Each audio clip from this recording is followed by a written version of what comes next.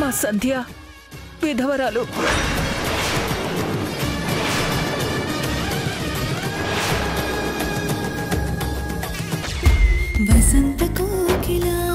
మధ్యాహ్నం ఒంటి గంట ముప్పై నిమిషాలకు మీ ఈటీవీలో.